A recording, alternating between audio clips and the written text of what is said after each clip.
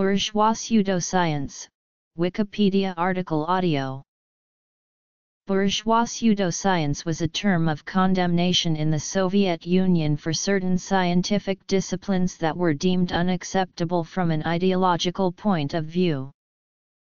At various times pronounced bourgeois pseudosciences were genetics, cybernetics, sociology, semiotics, and comparative linguistics. This attitude was most prevalent during the rule of Joseph Stalin. Notes